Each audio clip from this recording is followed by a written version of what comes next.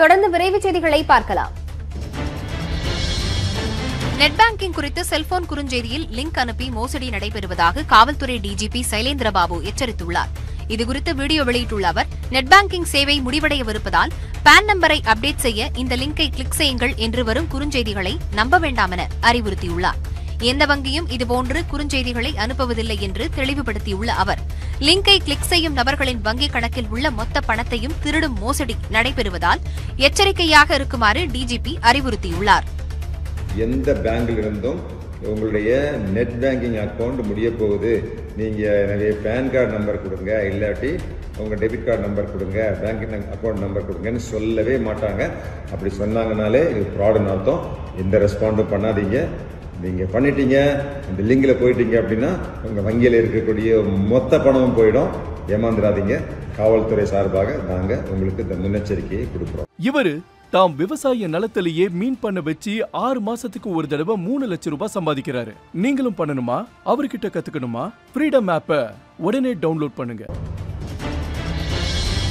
Car கண்ணாடியில் கருப்பு நிற ஸ்டிக்கர் ஒட்டப்பட்டிருந்த காரணத்திற்காக நடிகர் விஜய்க்கு சென்னை போக்குவரத்து காவல்துறை அபராதம் விதித்தது. கடந்த இருபதாம் தேதி பனையூரில் நடிகர் விஜய் தனது ரசிகர்கள் மற்றும் விஜய் மக்கள் இயக்க நிர்வாகிகளை சந்தித்தார். இந்த நிகழ்ச்சியில் கலந்து கொள்வதற்காக நீலாங்கரையில் உள்ள தனது வீட்டிலிருந்து பனையூர் அலுவலகத்திற்கு விஜய் காரில் சென்றார். அப்போது அந்த காரின் கண்ணாடியில் கருப்பு நிற ஸ்டிக்கர் ஒட்டப்பட்டிருந்தது இந்நிலையில் போக்குவரத்து விதிகளை மீறியதாக நடிகர் விஜய்க்கு ஐநூறு ரூபாய் அபராதம் விதித்து சென்னை போக்குவரத்து கூடுதல் ஆணையர் உத்தரவிட்டார். இதனைத் தொடர்ந்து விஜய் தரப்பில் அபராதம் செலுத்தப்பட்டது. தமிழகத்தில் பொறியியல் கல்லூரி மாணவர் சேர்க்கைக்கான கலந்தாய்வு முடிவடைந்திருக்கும் நிலையில் ஒன்பது கல்லூரிகளில் ஒரு மாணவர் கூட சேரவில்லை. தமிழகத்தில் உள்ள நானூற்றி நாற்பத்தி ஆறு பொறியியல் கல்லூரிகளில் ஒரு லட்சத்து ஐம்பத்தி நான்காயிரத்து இருநூற்றி எழுபத்தி எட்டு இடங்களுக்கு கலந்தாய்வு நடைபெற்றது. கலந்தாய்வு நிறைவடைந்திருக்கும் நிலையில் ஐம்பத்தி மூன்றாயிரத்து அறுநூற்றி இருபத்தி எட்டு இடங்கள் காலியாக இருக்கிறது. பதிமூன்று கல்லூரிகளில் மட்டுமே நூறு விழுக்காடு இடங்கள் நிரம்பியிருக்கும் நிலையில் ஒன்பது கல்லூரிகளில் ஒரு மாணவர் கூட சேரவில்லை. போதிய மாணவர்கள் சேராத முப்பது பொறியியல் கல்லூரிகளை அடுத்த ஆண்டு மூடுவதற்கு அண்ணா பல்கலைக்கழகம் திட்டமிட்டுள்ளது. அதே நேரம் இருபத்தி ஐந்து சதவீதத்திற்கும் கீழ் மாணவர்கள் சேர்ந்துள்ள கல்லூரிகளில் ஆசிரியர்களை நியமித்து தரமான கல்வியை அளிக்க முடியுமா என்பது கேள்விக்குறியாகியுள்ளது.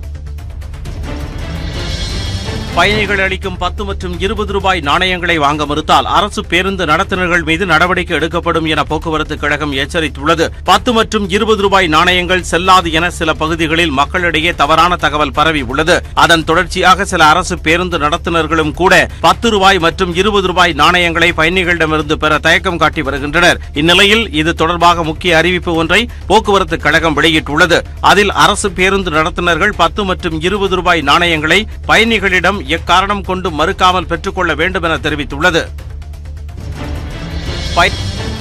தமிழகத்தில் ஊர்வலம் நடத்த அனுமதி கோரி ஆர் எஸ் எஸ் சார்பில் சென்னை உயர்நீதிமன்றத்தில் மேல்முறையீடு செய்யப்பட்டுள்ளது.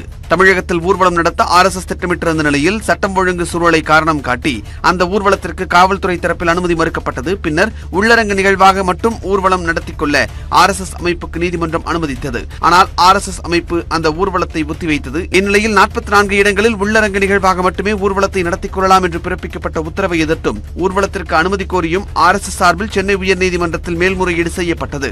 தங்களுக்கு அனுமதி மறுக்கப்பட்ட காலத்தில் மற்ற அரசியல் கட்சிகளின் பேரணிகளுக்கு அனுமதி அளிக்கப்பட்டதாகவும் ஆர் எஸ் எஸ் அமைப்பு மனுவில் சுட்டிக்காட்டியுள்ளது. இந்த மனு இரண்டு அல்லது அதற்கு மேற்பட்ட நீதிபதிகள் கொண்ட அமர்வு முன்பு விரைவில் விசாரணைக்கு வரலாம் என்று எதிர்பார்க்கப்படுகிறது.